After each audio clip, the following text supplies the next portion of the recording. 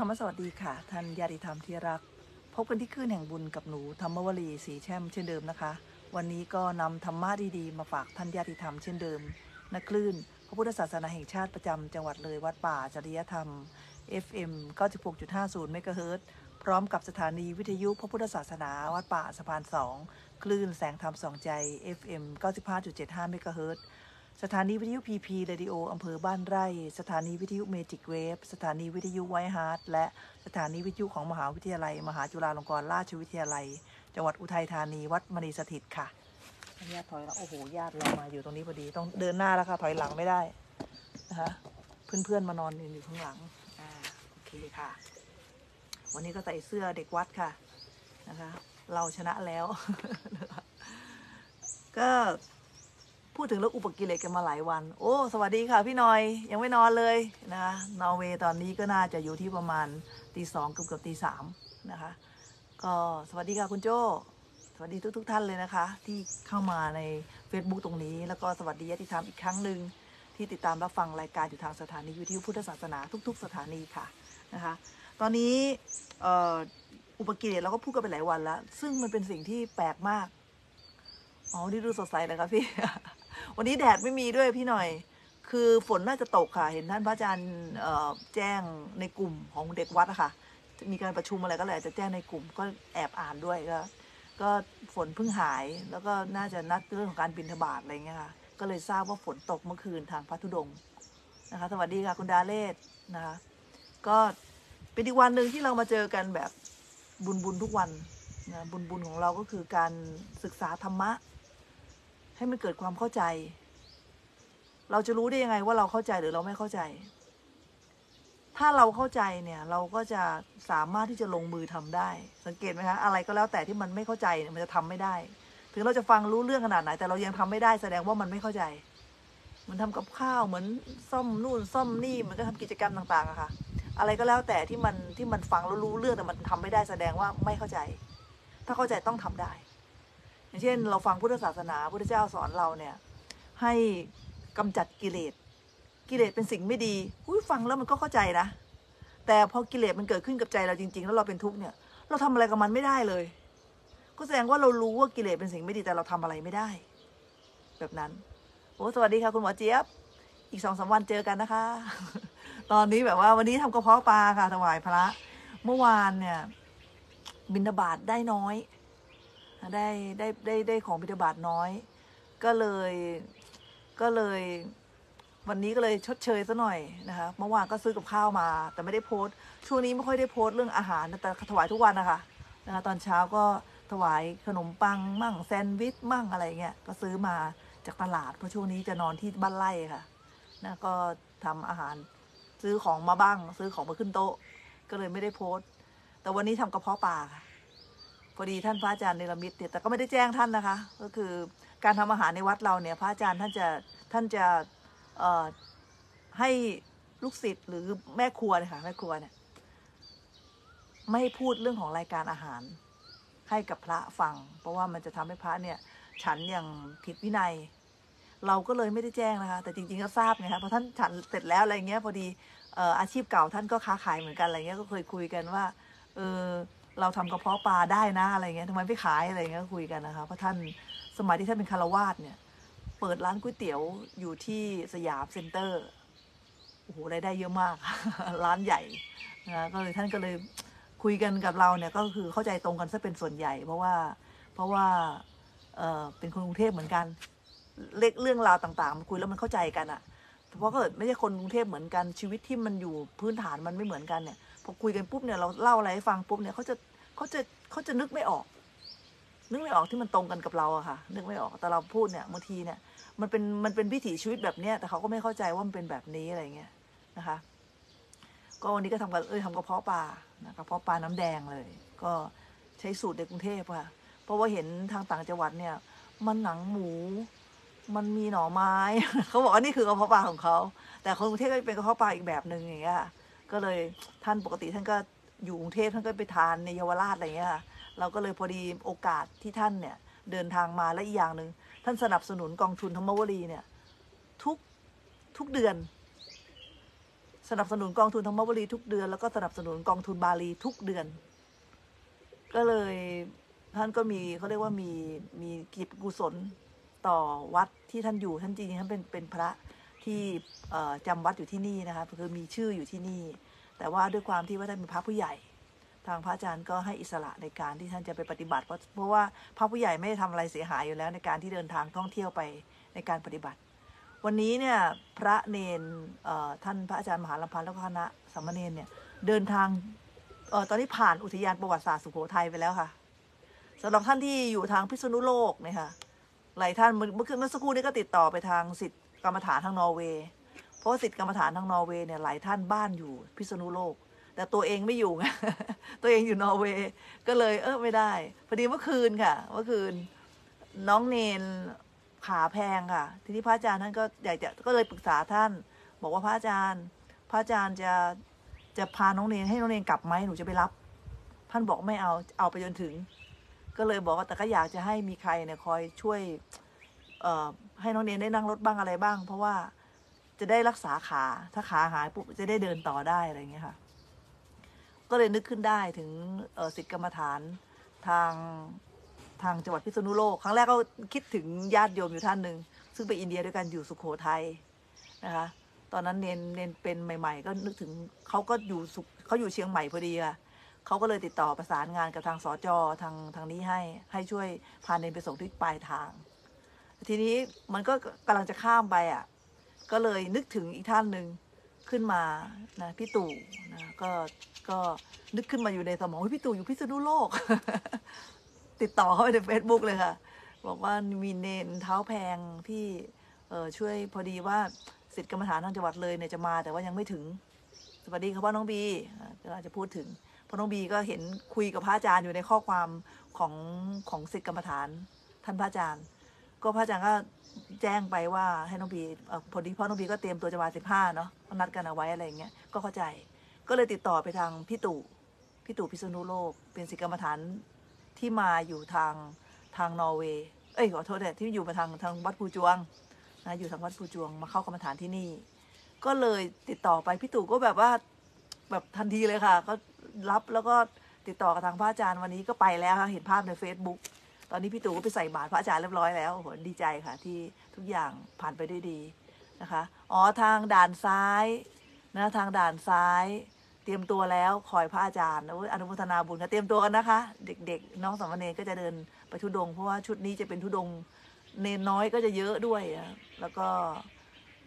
อ๋อพรุ่งนี้พ่อน้องบีจะเดินทางขออนุโมทนาบุญสวัสดีค่ะคุณตั้มนะทักทายขออนุญาตทักทายอธิธรรมที่ที่หน้าเฟซนิดหนึ่งนะคะ ก็ เป็นกิจกรรมอีกกิจกรรมหนึ่งแต่อาจารย์ธรรมวลีเนี่ยด้วยความที่ว่าไม่แน่ใจว่าท่านพระอาจารย์เนี่ยจะเดินทุดงค์ผ่านช่วงไหนตอนนั้น ก็คุยกับท่านไว้ ถามท่านแล้วว่า พระอาจารย์พระอาจารย์จะผ่านช่วงนี้เมื่อไหร่ก็กะไม่ถูกอะ ท่านบอกว่าท่านจะถึงปลายทางประมาณวันที่ 25 ตอนนั้น ตัวเองก็เลยคิดว่าเออ เดี๋ยวเรากลับมาก็จะทานเพราะว่าปีที่แล้วก็ไปแบบนี้ ปีที่แล้วช่วงพระอาจารย์ทุดงค์ก็ไปออกหน่วยแพทย์ ออกหน่วยจิตอาสานะคะ ปีนี้ก็ไปเหมือนเดิม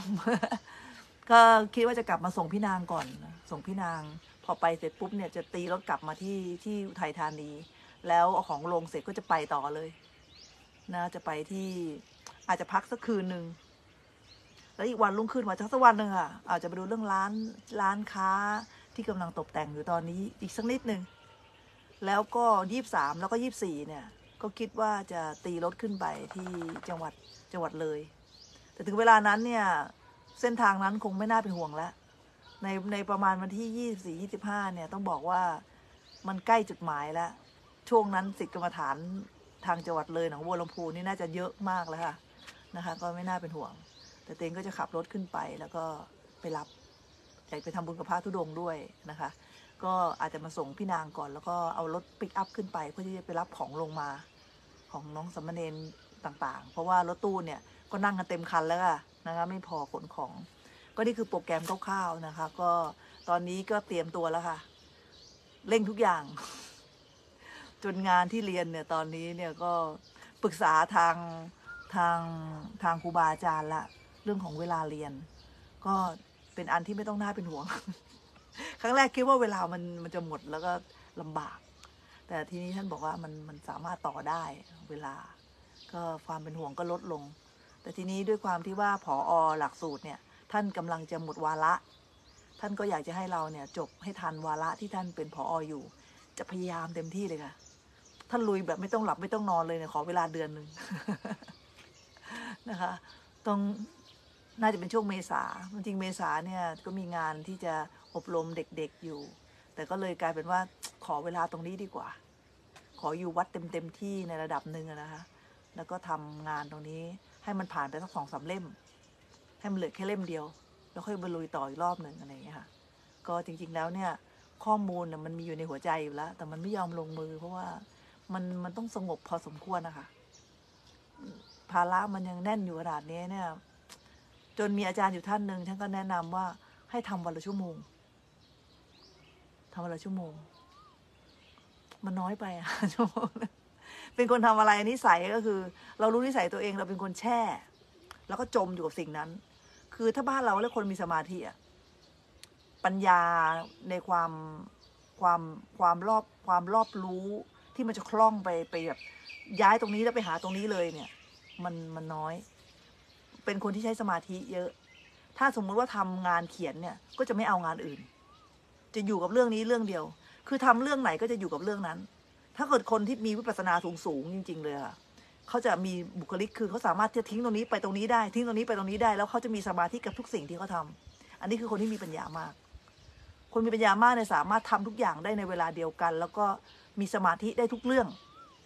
ในทุกขณะที่ทำแต่ตัวเองยังไม่เป็นนะคะในระดับหนึ่งก็คือสมมุติว่าตอนเนี้ยเรามานั่งเขียนงานเนี่ยพอเขียนงานผู้สมาธิมันจะจมที่งาน งานอื่นก็จะทิ้งเลยนะ ก็จะทิ้งงานอื่นในระดับหนึ่งก็คือเอาละได้งานนี้แล้วสมมติว่าขอชั่วโมงเดียวเนี่ยอาจจะไหลไปสองชั่วโมงสามชั่วโมงสี่ชั่วโมงเดี๋ยวงานอื่นตัดทิ้งก่อน แล้วเดี๋ยวเอาเอาไว้ที่หลังอะไรเงี้ยจะเป็นคนสไตล์นี้นะคะเรารู้นิสัยตัวเราเองดี แต่ว่า ที่ทำทั้งหมดทั้งสิ้นเนี่ยก็เป็นประโยชน์เกี่ยวกับเรื่องของตุเกี่ยวกับเรื่องของงานพุทธศาสนา แต่ถ้าเกิดเรื่องของงานเสียหายต่าง ๆ เนี่ย มันก็ไม่ได้ทำความเสียหายให้ใครค่ะ เรื่องของอนาคตของเราเลยแหละนะคะ ปกติจะตัดเรื่องส่วนตัวของตัวเองอะทิ้งเป็นอันดับแรก ถ้าสมมติว่ามีกิจกรรมอะไรในชีวิตเนี่ย หรือทำอะไรก็แล้วแต่เนี่ยถ้าเป็นเรื่องส่วนตัวเนี่ย จะถูกตัดออกเป็นอันดับแรก แล้วก็เรื่องส่วนรวมเนี่ยก็จะเอาความสำคัญส่วนใหญ่เป็นอันดับแรกที่จะเอาไว้ ตัดออกก็คือเรื่องส่วนรวมที่มันมันสำคัญน้อยลง หรือมันสามารถที่จะขยับเวลาได้อะไรเงี้ยก็จะตัดทิ้งตัดทิ้งนี่วิธีคิด ที่ทำงานปัจจุบันนี้ก็ใช้วิธีคิดแบบนี้ นะก็เลยพอเรื่องส่วนตัวตัดก็ตัดไปเรื่อยๆเลยค่ะทุกวันนี้ก็เลยไม่ได้ทำอะไรสักที ตัดเรื่องส่วนตัวเป็นดับแรกตัดเรื่องส่วนตัวเป็นอันดับแรกอะไรเงี้ยอย่างอย่างสมมติว่าบางครั้งเนี่ยตัวเองก็คิดเหมือนกันนะเมื่อเมื่อเมื่อก่อนนะคะ ว่าพอดีเราทำงานส่วนรวมเนี่ย ทุกคนคนนี้ก็ฉันยังไม่ได้ซักผ้าเลย อันนี้เขาฉันยังต้องไปทำให้ตัวเองอะทุกคนมีเรื่องของตัวเองกันทั้งนั้นเลยเฮ้ยจริงๆแล้วเราก็มีนะ แต่เราต้องทิ้งเรื่องส่วนตัวของตัวเองออกแล้วเราก็มาทำเรื่องส่วนรวมเมื่อก่อน แต่พอถึงวันหนึ่งเนี่ย เวลาผ่านไปอู้สวัสดีค่ะคุณตุ้ยนะเวลาผ่านไปนานเนี่ยไอ้การที่เราฝึกฝนที่จะทิ้งเรื่องส่วนตัว แล้วเอาเรื่องส่วนรวมก่อนเนี่ย มันกลายเป็นพลังงานบวกทางใจ ที่ทำให้เราไม่รู้สึกน้อยใจ ไม่รู้สึกเสียใจ ไม่รู้สึกว่ามีใครมาแย่งเออไม่มีใครรู้สึกว่ามีใครมาเอาเปรียบเราหรืออะไรเงี้ยมันไม่เป็นเลยค่ะ มันกลับกลายเป็นว่า โลกใบเนี้ย ทุกคนเนี่ย จริง ๆ แล้วมันเกิดมามีชีวิตเป็นของตัวเองกันหมด การอยู่ร่วมกันมันเป็นเพียงปฏิสัมพันธ์ที่เราจะต้องทำกันร่วมกัน แล้วใครจะได้บุญได้บาปมันก็เป็นของตัวเรา มันมันอยู่ด้วยกันก็จริง แต่ในเวลาเดียวกันบุญบาปมันของใครของมัน เพราะฉะนั้นในขณะที่เราคุยกันในขณะที่เรามองกันอะคือถ้าเกิดว่าจิตใจเราดีเนี่ย เราจะมองคนอื่นอย่างมีความสุข ความสุขมันเป็นของเรา แต่ถ้าเกิดเราจิตใจไม่ดีเนี่ยเรามองคนอื่นเนี่ย มันอาจจะได้รับความทุกข์มากมายเหลือเกิน เพราะว่าใจของเราเนี่ยมันไม่ดี มันมองแล้วมันเพ่งโทษ เอาแค่มองแล้วเพ่งโทษยังไม่ได้พูดเลยนะเอาแค่มองแล้วเพ่งโทษคนอื่นเนี่ยก็ทุกข์ละมันมันอิจฉาริษยา มันเกลียดมันอะไรอย่างเงี้ย แล้วพอมันทนไม่ไหวกิเลสความอิจฉามันรุนแรงความรังเกียจมันรุนแรง ความโกรธมันรุนแรง มันก็พัฒนาไปสู่คำพูด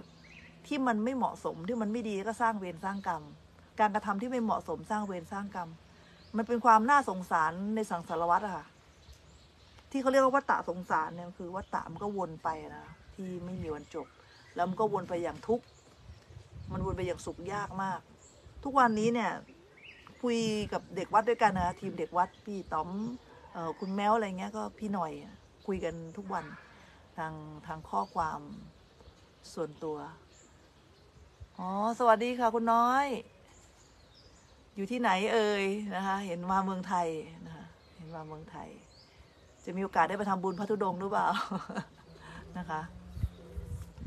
วันนี้เนี่ย ต้องบอกว่าเป็นวันหนึ่งที่ที่เราเองเนี่ยมาเจอกันทุกๆวันเนี่ย เราจะเอาเวลาที่มีอยู่เนี่ยทำยังไงให้มันเกิดบุญทำยังไงรู้ป่ะคะ เพียงแค่เราไม่ทำบาป เราก็มีบุญแล้ว อันนี้อันแรก ทีนี้บุญเนี่ยที่มันจะมีอานิสงส์มากน้อยเนี่ยอีกเรื่องหนึ่งอานิสงส์มากน้อยของบุญเนี่ย ถ้าเราดูเรื่องของการดับทุกข์ท่านก็จะบอกว่าการภาวนาเนี่ยมีอานิสงส์สูงสุด แต่ถ้าเกิดว่าเราเนี่ยยังมีความติดใจ มีความพอใจในการมคุณ ในความรู้สึกสูงสุดของบุญเนี่ยมันจะต้องเกิดความอุดมสมบูรณ์ เพราะฉะนั้นเนี่ยการทำทานเนี่ย มันจึงเกิดความอุดมสมบูรณ์ ไม่เหมือนกัน ไม่เหมือนกัน มันขึ้นอยู่กับว่าเราเนี่ยให้ความสำคัญกับสิ่งไหน ถ้าเราให้ความสำคัญกับสิ่งไหน เราจะตัดสิ่งที่ไม่สำคัญออก แล้วแต่ละคนที่ดำเนินชีวิต ในโลกใบเนี้ยทุกคนก็จะมีสิ่งที่สำคัญของตัวเองทุกคนเลย แต่สิ่งที่สำคัญแต่ละคนเนี่ยมันก็คนละเรื่องกัน เพราะฉะนั้นเนี่ยถ้าเราจะคบใครเนี่ย อันดับแรกเนี่ยเราต้องดูก่อนว่าคนคนนั้นเนี่ยเขาให้ความสำคัญกับเรื่องอะไร แล้วเราก็อย่าไปแตะต้อง หรือไปทำลายความสำคัญของเขา และสิ่งที่สำคัญที่สุดถ้าเราอยากจะเป็นมิตรภาพมีเป็นที่รักของคนทั้งหลายเนี่ย เราต้องส่งส่งเสริมในสิ่งที่เขาคิดว่าสิ่งนั้นเนี่ยเป็นสิ่งที่เขารัก อย่างเราเองเนี่ย เราจะรักใครสักคนหนึ่งเนี่ย อย่างเช่นเราชอบงานอะไรสักอย่างหนึ่งเนี่ย แล้ว แล้วคนเนี่ยมาส่งเสริมเรา เราจะรู้สึกรักคนนั้นนะรู้สึกดีอะเอ้ยคนคนนี้ดีอะมันเป็นกิจกรรมที่เรารักอะเราเราส่งเสริมเรา แต่ถ้าเกิดเราอยากจะทำอะไรสักอย่างหนึ่งแล้วคนนั้นมาขัดขวางอะ เราจะรู้สึกไม่ดีกับคนนั้นทันที ขึ้นอยู่กับทิฏฐิหรือความเห็น ความเห็นของคนแต่ละคนเนี่ยมันให้ความสำคัญแต่ละเรื่องเนี่ยไม่เท่ากันบางคนให้ความสำคัญกับสิ่งอื่นอย่างที่เล่าไปเมื่อเมื่อวานนะคะที่ค้างอยู่ ก็คือเล่าไปเรื่องของที่ตัวเองสมัยเป็นวัยรุ่น มองเห็นความสำคัญของเพื่อน เพื่อนเนี่ย แค่เลี้ยงอาหารเรามื้อเดียวเนี่ยโหเรารู้สึกเพื่อนคนนี้ดีมากเลยเอ่อใครมาว่าเพื่อนอย่างสมัยก่อนแม่ว่าเพื่อนไม่ได้นะรู้สึกว่าทำไมแม่มองเพื่อนในแง่ร้ายอะไรเงี้ยแม่ก็จะบอก แต่ตอนหลังๆเนี่ยเชื่อแม่นะคะ เชื่อแม่เชื่อพ่อป๋าเนี่ยถึงขนาดว่าเขาป่วยอยู่เนี่ย ชวนใครมาที่บ้านหรืออะไรอย่างเงี้ย มาเที่ยวมาเจอกันที่บ้านตลอดเนี่ยป๋าจะบอกตรงเลย คนนี้เป็นคนแบบนี้แบบนี้ต้องทำแบบนี้แบบนี้อะไรเงี้ยสมัยก่อนก็ไม่ค่อยเชื่อเท่าไหร่ตอนหลังๆเนี่ยพอพอพอพอป๋าบอกเสร็จปุ๊บเนี่ย พอคบไปนานๆมันเป็นอย่างที่พ่อพูดเลย ก็เลยเชื่อสายตาของผู้ใหญ่ว่าผู้ใหญ่มองอะไรไม่ค่อยผิดพลาดเท่าไหร่ ก็เชื่อตามคือ อย่างน้อยๆเนี่ย ถ้าถูกทักแล้วเนี่ยต้องต้องระวังละถ้ามีการทักเนี่ยก็คือไม่ใช่ไม่ไว้ใจแต่ว่าก็ต้องเราก็ต้องดูตามที่เขาบอกมาว่าเออมันจริงหรือไม่จริง ไม่ใช่ปฏิเสธเลย การชิงปฏิเสธเลยเนี่ยไม่ใช่วิธีการของผู้ที่ศึกษา หลายคนที่ปฏิเสธทันที พอมันไม่ตรงกับที่ตัวเองต้องการเนี่ยมันจะปฏิเสธทันที การปฏิเสธมันไม่ได้เป็นประโยชน์กับเราเลย แต่การรับฟังคนอื่นเนี่ยก็คือการไม่ปฏิเสธนั่นเอง แต่มันไม่ได้แปลว่าเราฟังแล้วเราต้องทำตาม การคำว่ารับฟังเนี่ยไม่ได้แปลว่าทำตาม การรับฟังก็คือการ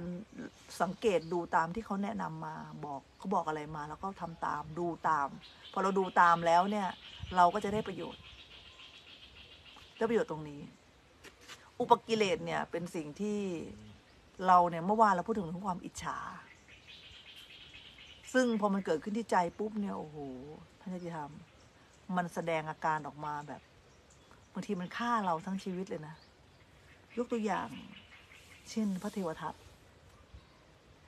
ระเทวทัตเนี่ยเอ่อ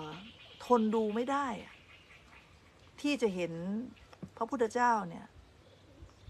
ได้รับคือไม่มีความยินดีอะคือคุณสมบัติของความอิจฉาก็คือไม่ยินดีในความดีของผู้อื่น เราหลังหลังเก็บพระเทวทัตนะตัวเองสงสัยมากเลย คนขี้อิจฉาบางคนก็เป็นอย่างพระเทวทัตคือเขาจะเกลียดเราแต่เขาก็จะตามเราไปทุกที่ พระเทวทัตเนี่ยแปลกมาก คือจริง ๆ แล้วเนี่ยไม่ใช่ว่ามาเกลียดพระเจ้า หรือไม่ชอบพระเจ้าในในครั้งที่พระเจ้าบวชแล้ว พระเทวทัตเองเนี่ย รู้จักกับพระเจ้าตั้งแต่สมัยเด็กๆอะ่ะ แล้วก็ไม่ชอบพระเจ้า แต่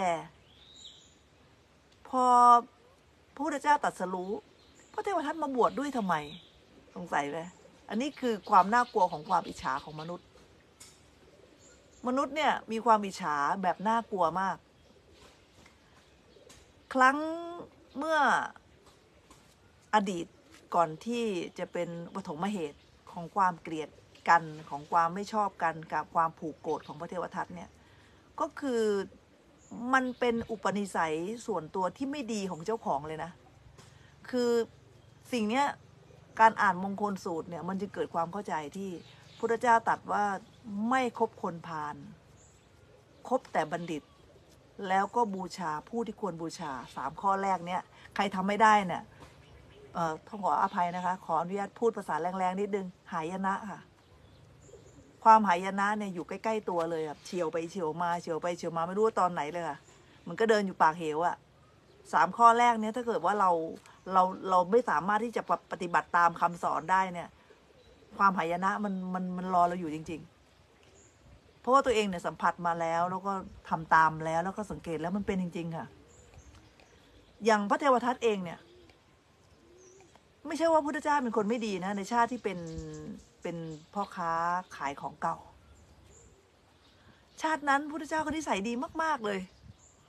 แต่ไปคบกับคนไม่ดีเนี่ยแหละคือคนพาลเนี่ย มันสะกิดนิดสะกิดหน่อย มันมันเป็นเรื่องเป็นราวข้ามชาติเลยนะ ท่านถึงไม่ให้เราคบไงเพราะมันอันตราย พระเทวทัตเนี่ยในชาติที่เป็นปฐมเหตุที่ผูกโกรธพระเจ้ามาเนี่ย ตัวเองก็เป็นพ่อค้าขายของเก่าที่โกงอะ่ะนิสัยไม่ดีอะ่ะ แต่พระเทวทัตเนี่ยมาคบกับพระเจ้าในชาตินั้นขอโทษนะจำชื่อไม่ได้คบกันเป็นเป็นเพื่อนกัน แล้วตกลงกันไว้ไปก็เดินทางไปด้วยกัน ไปเจอกัน แล้วก็ตกลงกันว่า เออ ฉันจะเอาฝั่งนี้นะ เธอจะเอาฝั่งนี้นี่คือการตกลงกันแบบแบบแบบคนที่เขาเขาเป็นบัณฑิตเขาก็คุยกันว่าตกลงแล้วทีนี้เนี่ยเมื่อพระเทวทัตไปไปอีกฝั่งหนึ่งพุทธเจ้าเออพระพระโพธิสัตว์ไปอีกฝั่งหนึ่งต่างคนต่างก็ไปหาลูกค้ารับซื้อของเก่า ทีนี้เนี่ย โดยความที่ถ้าเป็นปัญญาชนน่ะเมื่อเมื่อเดินต่างคนต่างเดินทางกลับมาแล้วที่เดิมเนี่ย มันก็คือทุกคนเดินจบแล้ว พระเทวทัตเนี่ย มีแผนสูง คนที่เดินผ่านไปรอบแรกเนี่ย มีอยู่ท่านหนึ่งเป็นคนแก่ คนแก่ที่ที่เอาของมาขายจะซื้อของให้หลานสาวอะเอาของมาขายเอาของมาของเก่ามาขายเพิ่งเป็นของเก่าที่มีราคามาก แล้วพระเทวทัตก็ตาถึงนะ แต่ว่ากดราคาเขาไว้ไม่เอาหรอกไม่ให้อะไรเงี้ยแล้วก็แบบพูดดูถูกของเขาว่าของมันไม่ดีนะว่าอย่างงี้อะไรเงี้ยเพื่อที่จะกดราคา ตามสไตล์ของพ่อค้าขายของเก่าที่ไม่มีคุณธรรม ทีนี้คิดว่าตัวเองเนี่ยจะกลับไปเอาอีกรอบหนึ่งเพราะว่าของมันมีราคามากเลยอะ่ะ เดี๋ยวกลับไปเนี่ยงานเนี้ยแบบว่าโหได้ของดีเลย เพราะว่าคนแก่ดูแล้วอยากได้เงินอะไรประมาณเนี้ยทีนี้พระโพธิสัตว์เองเนี่ยก็เข้าใจว่าพระเทวทัตเนี่ยเดินไปแล้ว เพราะฉะนั้นมันคือจบแล้วไงเหมือนถ้าเป็นของก็เลือกแล้วอะ่ะจบแล้ว แล้วก็ไม่รู้ว่าพระเทวทัตตอนนั้นน่ะ คิดอะไรอยู่ ไม่รู้นะคะพระเอ่อพระโพธิสัตว์ก็เลยเดินไปบ้าง ก็ไปเจอบ้านคนคนเดียวกัน เอาถาดใบเดิมอออกมาขาย ปรากฏว่า พอพระโพธิสัตว์เห็นปุ๊บโอ้โหมันเป็นของที่มีราคามาก ๆเลย เงินที่มีอยู่ทั้งตัวเนี่ย มันยังไม่สามารถที่จะที่จะซื้อถาดใบนี้ได้เลย ก็เลยขอเงินเนี่ยกลับมาแปดกหาปณะ แล้วก็เอาสมบัติที่มีอยู่หรือของที่มันต้องที่คุณยายต้องการซื้อให้หลานสาวต้มหูอะไรเงี้ย ให้ไปหมดเลย ของที่มีอยู่เนี่ยให้แลกไปหมดเลย ของที่แลกได้ให้ไปหมดเลย แล้วก็เอาถาดไปนั้นกลับมาใบเดียวเพราะว่ากลับไปเนี่ยขายได้เยอะแยะแน่นอนเลย ซึ่งจริงๆแล้วเนี่ยพระโพธิสัตว์ก็ไม่ได้ผิดอะไรเลยนะไม่ผิดเลย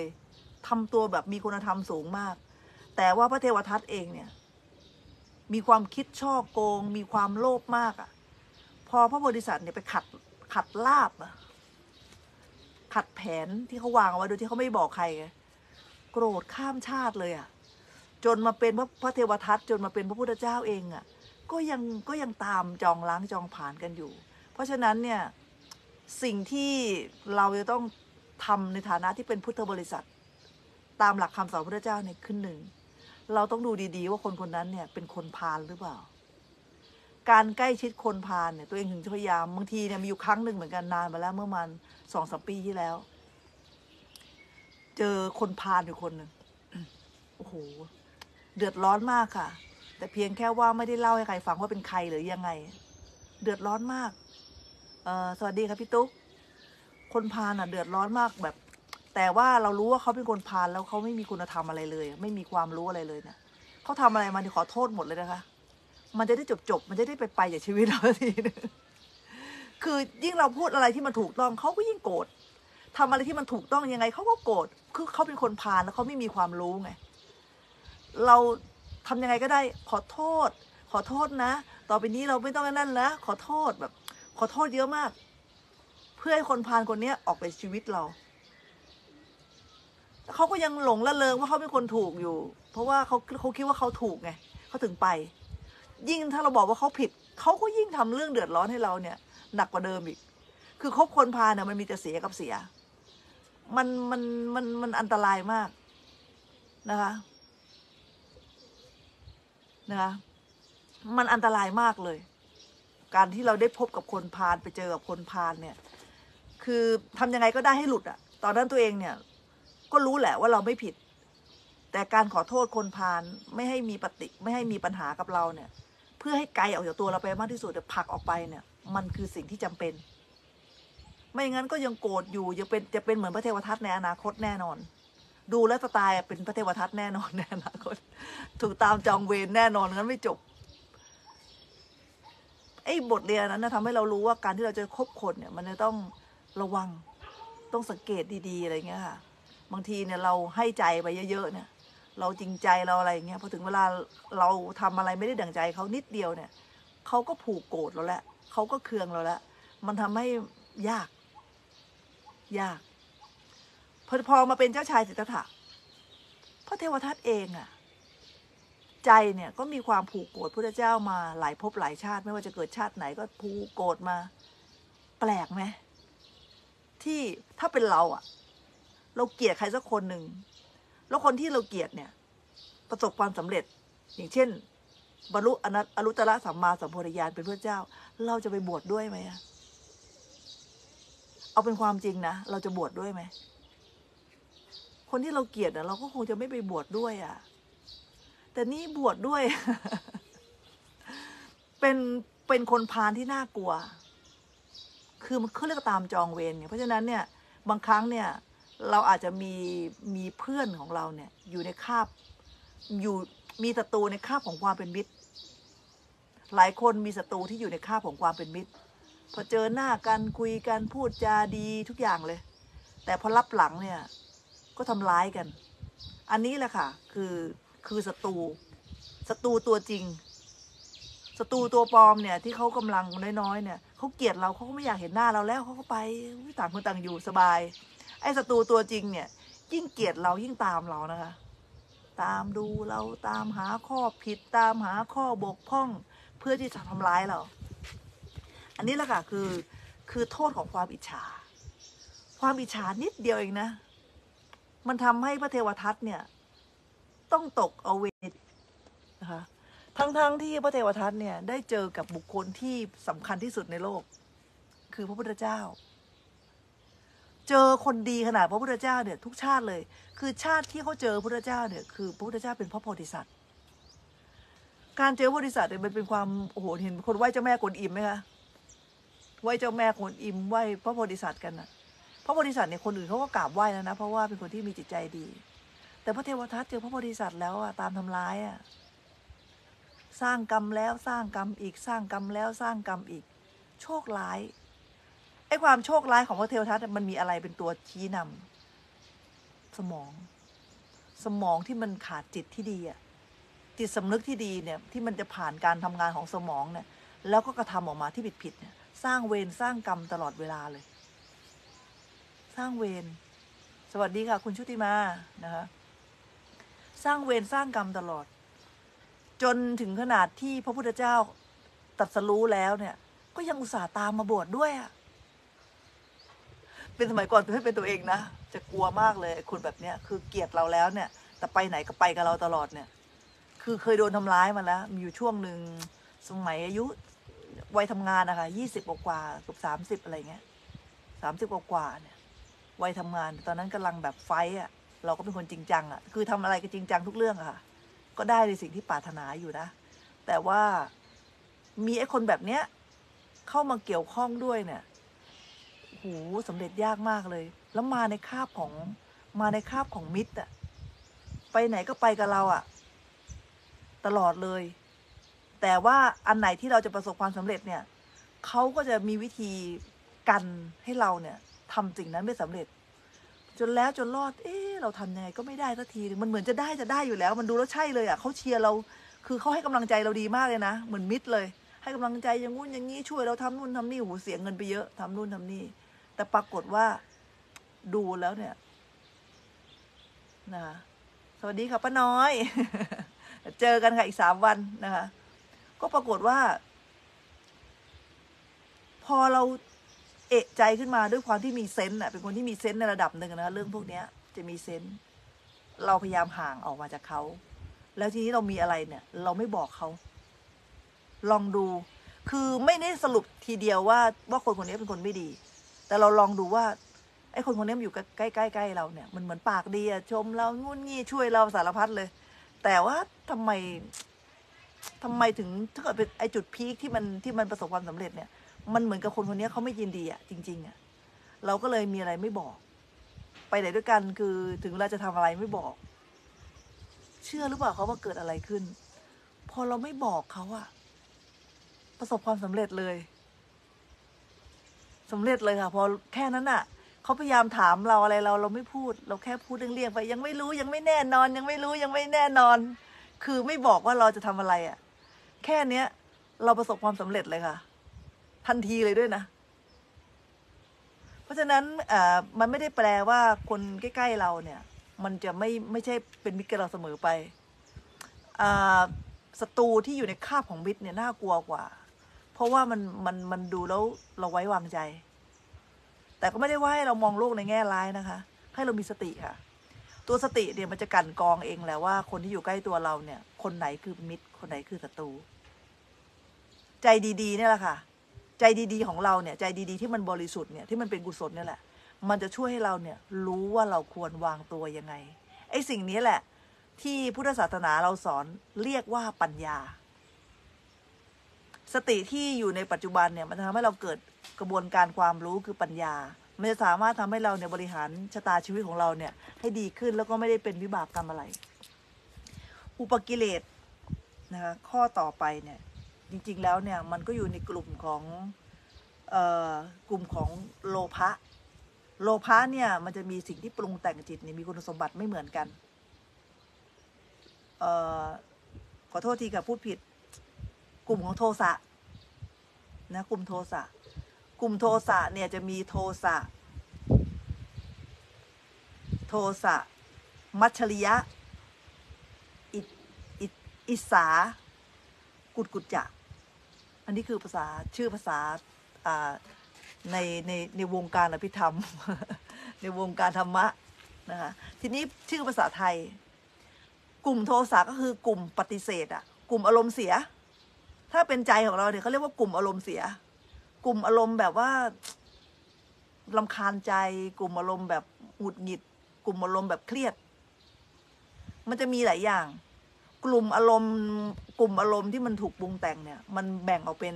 สิ่งที่ปรุงแต่งเนี่ยเขาเรียกว่าเจตสิก เจตสิกเนี่ยคือสิ่งที่ปรุงแต่งจิต มันแบ่งเป็นสามกลุ่ม กลุ่มแรกคือกลุ่มโมหะ ไอ้กลุ่มนี้โอ้โหน่ากลัวที่สุด มันเหมือนกับสารพิษที่สะสมอยู่ในร่างกาย ซึ่งเราเองไม่สามารถที่จะรู้ได้เลยว่าว่ามันมีอยู่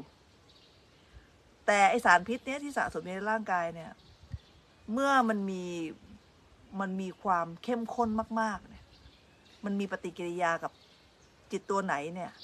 เหมือนกับถ้าเราไม่สบายเนี่ย มันก็จะไปผสมลง ให้ไอตัวกิเลสที่มันมีอยู่เนี่ยมันมีมันมีความเข้มข้นมากขึ้น อย่างเช่นความโลภความโลภเนี่ย ถ้ามีมีไอตัวโมหะน้อยเนี่ย มันก็ยังพอมีสามัญสำนึกที่จะไม่ทำความโลภเนี้ยให้มันบาปกรรมหรือไปเบียดเบียนคนอื่น แต่ถ้าไอความโลภเนี้ยมันเกิดขึ้นที่ใจของเรา แล้วมันมันมีไอตัวโมหะเนี้ยเป็นพื้นฐานเยอะมาก คือมันมีความเข้มข้นของปริมาณโมหะมากเนี่ย มันก็ทำให้เราเนี่ยทำตัวผิดผิด มีความเห็นผิดในการแสวงหาสิ่งที่ต้องการ ในในในในจิตเนี่ยที่มีความโลภแล้วมีความเห็นผิดมาก ๆ เนี่ย จิตดวงเนี้ยเขาเรียกว่าเออเรียกว่า อย่างเช่นโสมนัสใช่ไหมคะเป็นจิตที่มีความปิติมากๆเนี่ยปิติในความโลภเนี่ยโสมนัสสหคตังเนี่ยโสมนัสสหคตัง ทิฏฐิคตะวิปยุตตังนะคะอสังขาริกัง คือจิตที่เป็นเป็นโสมนัสแล้วก็มีความเห็นผิด เป็นโลภะค่ะ กลุ่มนี้เป็นกลุ่มโลภะมีความเห็นผิด ก็คือมีไอโมหะเนี่ยเรามากไอความว่าความเห็นผิดกับความไม่เห็นผิดเนี่ยไอตัวโมหะเนี่ยนะคะเป็นตัวที่ที่ ทำให้รู้ว่าจิตดวงเนี้ยมันมันมันมันไม่มีความเข้าใจเรื่องของของความถูกต้อง มันจะมุ่งไปสู่ความผิดละ เหมือนกับจิตของพระเทวทัตอะค่ะเขาอยากจะได้อะไรเนี่ยเขาจะไม่มีไม่มีความเห็นถูกเลย เพราะเขาจะมีไอตัวโมหะเนี่ยอยู่ แม้กระทั่งพระเทวทัตเองเนี่ย ถึงจะทำฌานได้ฌานของพระเทวทัตเองเนี่ยก็เป็นฌานที่ที่ไม่ได้ประกอบด้วยด้วยปัญญา แต่ว่ามันไม่มีกิเลส ฟังแล้วงงไหมมันไม่มีปัญญาแต่มันมีสมาธิ สมาธิที่มันมันดิ่งตรงไปในทางที่ไม่ดี เพราะฉะนั้นน่ะเราจะเห็นว่า พระเทวทัตมีฌานนะเหาะไปที่ที่วังเข้าไปทางหน้าต่างของห้องห้องบรรทมของพระเจ้าอาชาติศัตรูทำได้อะแล้วพระเทวทัตเนี่ย ก็ยังมีกุศโลบายจะทำร้ายพระเจ้าได้ด้วย ทั้งๆทที่มีฌาน เพราะฉะนั้นคนที่มีฌานเนี่ยมันไม่ได้แปลว่าคนคนนั้นจิตเป็นกุศลเสมอไป คนที่มีฌานเนี่ยมันอาจจะประกอบด้วยความเห็นผิด ในขณะที่มีฌานอยู่เนี่ยมันก็เป็นกุศลนั่นแหละค่ะ แต่ในขณะที่มันออกจากฌานมาแล้วอำนาจฌานยังเหลืออยู่เนี่ยจิตมันเป็นหลายดวงอะค่ะ เหมือนกับแสงที่มันที่มันยังยังมีมันแสงแอคโคเสียงอะค่ะ เสียงที่เป็นแอคโคอะคือเสียงมันดับไปนานแล้วอะ แต่ว่าตัวแอคโคตัวเสียงที่มันสะท้อนอยู่เนี่ยมันยังอยู่เอ่อคนที่มีฌานก็เป็นอย่างนั้น คือไออารมณ์ของฌานเนี่ย มันมันมีอยู่ มันมีอยู่ แต่มันกำลังเสื่อมแล้ว มันลดแล้วมันลดความเสื่อมไอ้ตรงๆที่มันลดอยู่เนี่ย จิตดวงนั้นมันไม่ใช่กุศลแล้วมันกำลังลดอยู่ นั่นแหละถึงทำความชั่วได้ คือฌานมันเสื่อม แต่ถ้าเกิดฌานมันไม่เสื่อมเลยเนี่ยฌานมันมีกำลังอยู่ตลอดเวลาเนี่ย มันเป็นไปไม่ได้เลยที่ที่เออเราจะอยู่ใต้อำนาจของ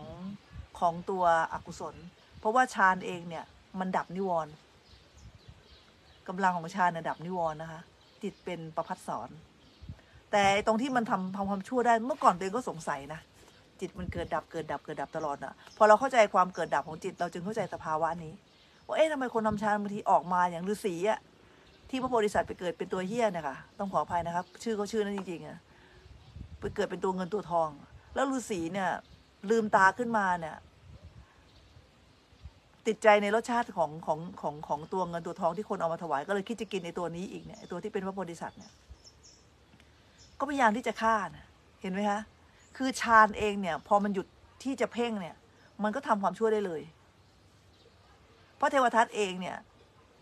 พระเทวทัตเองเนี่ย ก็มีฌานเหาะมาได้เลยนะ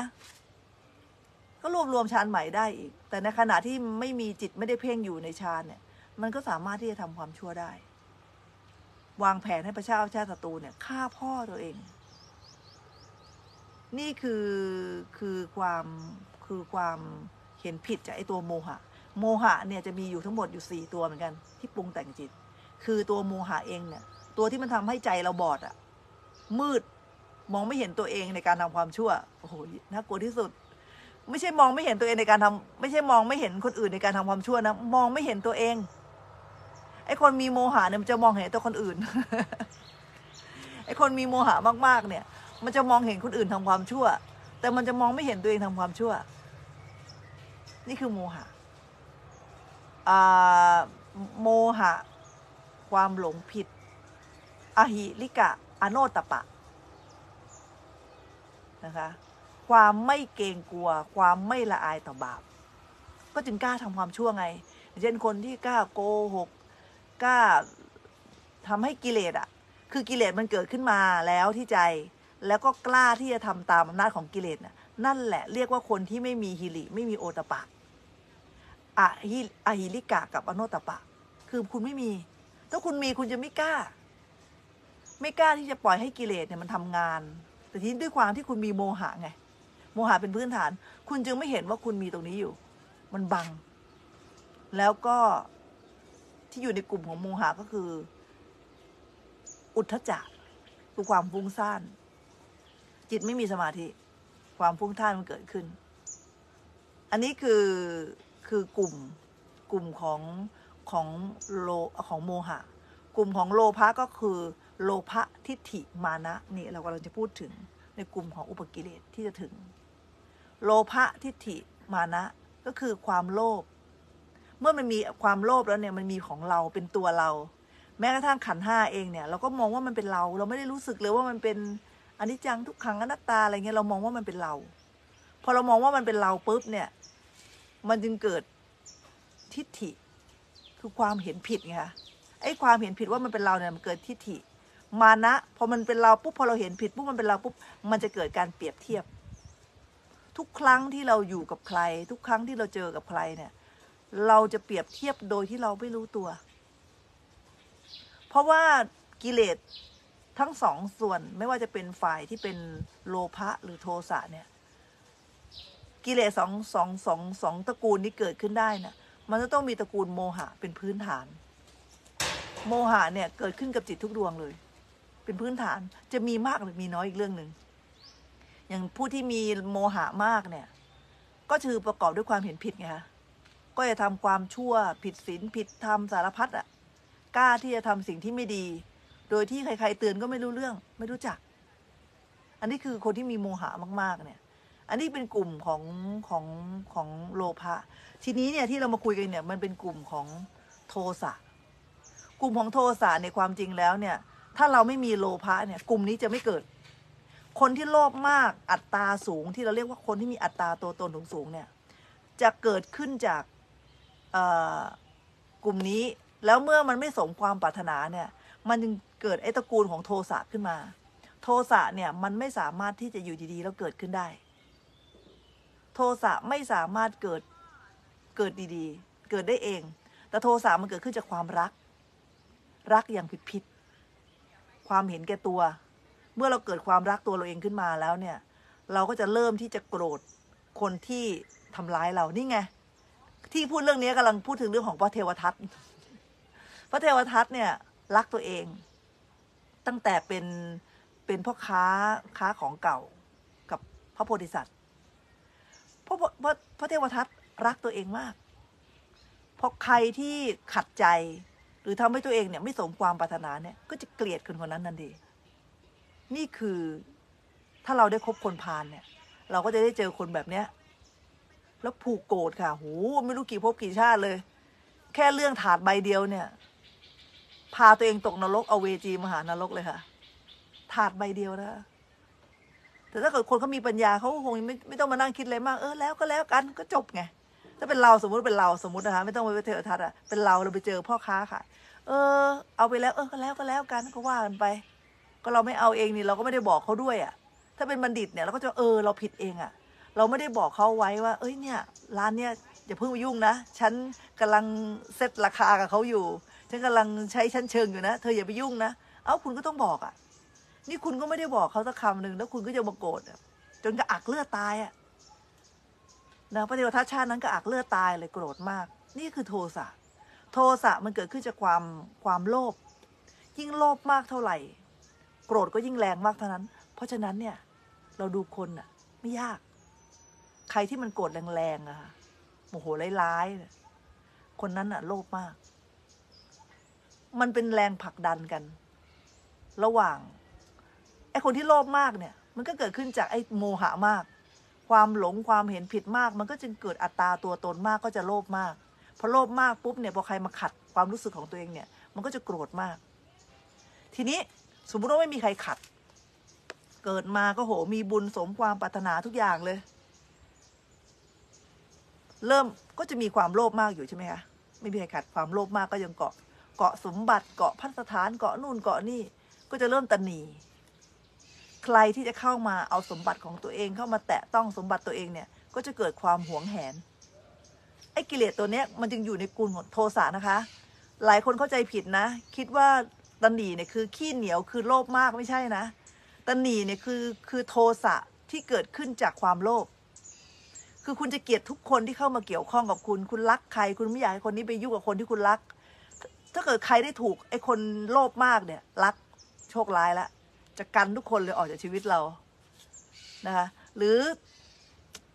สิ่งของของเขาเนี่ย ใครจะไปแตะของเขาเลยเขาจะกันออกหมดเลยเขาจะโกรธเขาจะเกลียดคนคนทุกคนที่เข้ามาเกี่ยวข้องกับของของเขา อันนี้คือสภาวะของคนโลภมากก็คือ คือคนคนที่มีความตนีสูงสูงเนี่ย จะเป็นแบบนั้นตนีคือโทสะนะคะ สวัสดีค่ะคุณป้าเคลียร์ร้านเสร็จหรือยัง โทสะเนี่ยคืออันนี้ มันเป็นโทสะ ของคนที่จะมาแย่งของของเรา อะ ทีนี้อีกอีกอันหนึงเนี่ยตระกูลโทสะซึ่งคนเนี่ยไม่เข้าใจ คือตัวลิษยา ตัวลิษยาเนี่ยมันมันก็คือความโลภมาก มันอยากได้ อยากมีอยากเป็นอยากเด่น อยากดัง อยากเป็นที่รัก อยากทุกอย่างเลย อันนี้ก็คือโลภเหมือนกัน แต่คนคนนั้นเนี่ย ไม่มีคุณสมบัติที่พูดถึงเลย หรือสู้เขาไม่ได้ พอสู้เขาไม่ได้ปุ๊บเนี่ย การที่เรา ไม่พอใจในคุณสมบัติที่เป็นความดีของคนอื่นเนี่ย มันก็จึงเกิดความอิจฉาขึ้นมา หรือที่ในภาษาบาลีเขาเรียกอิสาลิษยาอันเดียวกันไม่พอใจ อันนี้แหละค่ะ ก็เป็นตัวโทสะนะ ความอิจฉาเนี่ย ถ้าเกิดว่าเราคุยกันแบบชาวบ้านชาวบ้านบ้านๆเราก็จะคิดว่ามันเป็นความโกรธ ความอิจฉานะเออเป็นเป็นความโลภแต่จริงๆมันเป็นความโกรธ แต่ความอิจฉาจะดูง่ายกว่าตนีตนีเนี่ยก็เป็นความโกรธ แต่ว่าเราจะดูแบบความเป็นความโลภความอิจฉาก็เป็นความโกรธค่ะ โกรธที่คนอื่นเขาดีกว่าเรา โกรธที่คนอื่นเขาดีกว่าเรา แล้วตัวสุดท้ายที่ในกลุ่มอยู่ในกลุ่มของโทสะก็คือกุดกุจจะพอเราเห็นคนอื่นเขาได้ดี หรืออะไรอย่างเงี้ย เราก็จะไม่ค่อยพอใจ อันนี้คืออิจฉา แต่กุดกุจจะเนี่ยคือเราไม่พอใจตัวเอง สมมุติว่าเนี่ยอย่างอย่างสมมติอาจารย์ธรรมวลีเนี่ยกำลังจะไปออกหน่วยแล้วเห็นคุณปามาต่างคนต่างก็เคียงงานกันสู้ตายเลย จะไปออกหน่วยแล้วแล้วมันทำไม่ทันอะ มันอยากให้เสร็จให้ทันทันๆอะ อยากมันเป็นความดีที่ยังทำไม่สำเร็จอะ อันนี้ก็คือกุกุจจะเป็นอารมณ์ของของความอยากจะทำความดีหรือทำอะไรที่มันค้างแล้วมันไม่ทันอะ อารมณ์มันจะเป็นอีกอารมณ์หนึ่งเป็นอารมณ์ที่อยากจะประสบความสำเร็จ แต่ว่ามันมันก็หงุดหงิดอยู่ดีท่านหนึ่งจัดไว้อีกกลุ่มหนึ่งอันนี้เป็นกลุ่มของตัวตัวความโกรธ ซึ่ง ในในอุปกิเลสข้อเนี้ยในอุปกิเลสข้อเนี้ยก็คือตัวมัชริยะนะตัวมัชริยะก็คืออยู่ในกลุ่มของความโกรธ มันเป็นมนทินอะพอเราได้หวงอะไรสักอย่างหนึ่งเนี่ย มันจะทำให้พฤติกรรมของเราเนี่ย มันแสดงออกมาเนี่ย ไม่ตรงตามความเป็นจริง ขาดความยุติธรรมกลายเป็นคนมีอคติ บุคลิกก็เสียหลวงปู่ชาบอกเอาไว้แล้วค่ะท่านยุติธรรม เธอจงระวังอุปนิสัยของเธอ เพราะว่าอุปนิสัยของเธอมันจะคืออนาคตของเธอ ถ้าเธอทำอุปนิสัยไม่ดีอนาคตมันไม่ดีอยู่แล้ว เพราะทุกคนเนี่ยที่เดินหน้าไปได้เนี่ยมันเดินหน้าจากอุปนิสัยของเรานั่นเอง คนจะยอมรับเราหรือคนจะเกลียดเราก็คืออุปนิสัยของเรานั่นแหละค่ะชี้ชะตาชีวิตของเรา วันนี้เวลาหมดลงแล้วค่ะขอกราบขอบพระคุณครูบาอาจารย์ท่านพระครูจริยะสารธรรม ท่านเจ้าวาดวัดป่าจริยธรรม ขอกราบขอบคุณท่านพระอาจารย์บัวเรียนพุทธสโล ท่านเจ้าวาดวัดป่าสะพานสองขอขอบคุณพออชริตวงศ์สกุลค่ะ ที่มอบช่วงเวลาดีๆ ตรงนี้ให้กับรายการธรรมวลี ขอขอบคุณท่านญาติธรรมทุกๆท่านค่ะ ที่ให้เกียรติติดตามรับฟังรายการธรรมวลีมาโดยตลอด วันนี้เวลาหมดลงแล้วพบกันใหม่ในวันพรุ่งนี้ สวัสดีค่ะ